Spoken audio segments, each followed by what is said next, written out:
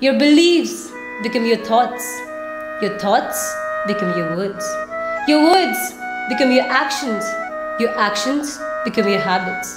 Your habits become your values. And your values become your destiny. These were the golden words of Mahatma Gandhi.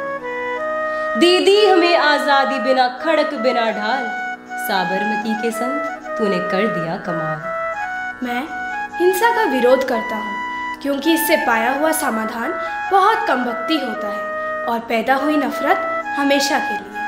Truth and non violence are the two sides of the same coin consider ahimsa as the mean and truth as an end your future depends on what you do in the present दुर्बल लोग कभी क्षमा नहीं करते। क्षमा करना तो बलवानों का गुण है। With the strong belief for your purpose. even an insignificant being can change the course of history. वैष्णव जन तो तेने कहीं जे पीड़ पराई जाने रे वैष्णव जन तो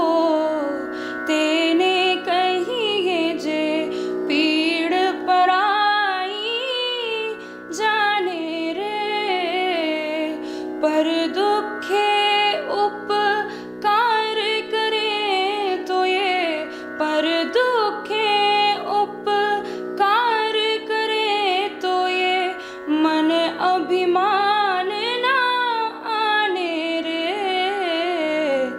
वैष्णव जन तो तेने कहिए जे। Ahimsa is the very definition of a woman, and there is no place for untruth in her heart. If she is true to herself, she is no longer Avla the weak, but she is Sabla the strong. It's the 152nd birth anniversary of the Mahatma. Let's keep his thoughts alive.